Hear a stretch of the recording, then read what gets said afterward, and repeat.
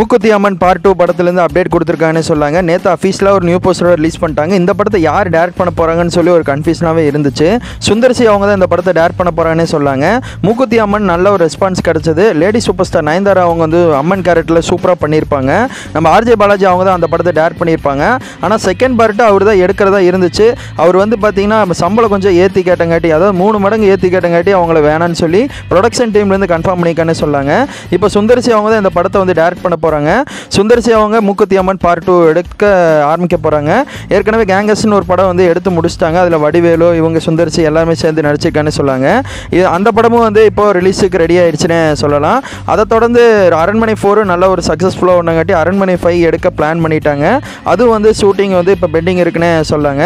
சுந்தர்சி அவங்க மூணு படத்தில் ஒரு படம் எடுத்து முடிச்சிட்டாங்க. இன்னும் ரெண்டு படம் எடுக்கணும். இந்த ரெண்டு படத்துக்கு கமிட்மெண்ட் கொடுத்துட்டு இனி அடுத்தடுத்து என்ன ஸ்டெப் எடுத்து பண்ண போகிறான்னு சொல்லி தெரியல.